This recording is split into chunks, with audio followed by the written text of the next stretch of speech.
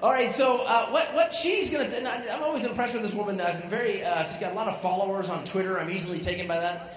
And uh, at Snow Kitten, she's a marketing person, a martial arts person, and she's doing something that the domain name industry has done very poorly, and that is about uh, talking about a major change to the internet. So give it up, please, to someone delivering some very useful information, Melissa Dafni.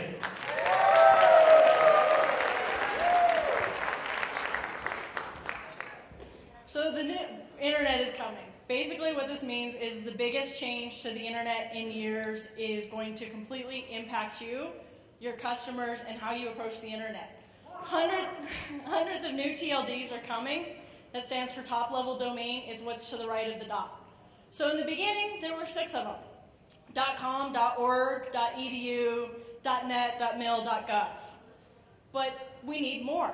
They're not quite enough. So we have ICANN, which is the Internet Corporation for Assigned Names and Numbers, and they pretty much oversee the entire internet.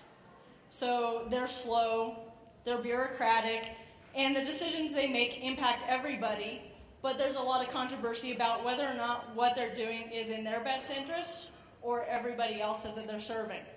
So they make these decisions, they impact you, and there's not too much input. So what's happening is a lot of brands have been uh, very against this from the very beginning. They've been saying, hey, this isn't cool. I'm going to have to spend thousands of dollars now every year trying to protect my brand that I shouldn't have to. These shouldn't go through. This came out earlier this month. Basically, ICANN has come out and said exactly opposite what they've been telling everyone. Because they've been saying, no, this is fine, you'll join the trademark clearinghouse, your brand will be protected. It's not. This is a slide to show you some of the new domains that are coming out. There are so many TLDs, I can't even fit them on a slide. So do you think you're going to be impacted by this? You definitely are. But there's going to be some fun. So you have a bar. You can actually tell people that's what it is. You brew beer at home.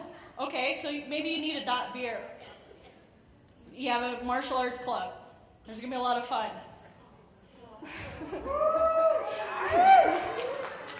This is actually Dempsey, one of my dogs. so,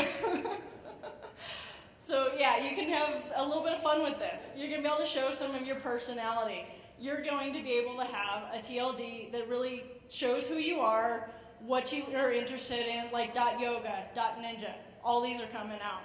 It's also going to be able to show people what your profession is. So .plumbing, .games, .doctor, .law, all these are coming out, and it's going to tell your customer a little more about you before they even click enter. The problem is, oh, okay, so this is actually why this is going to be beneficial to you. These are domains that sold earlier this month.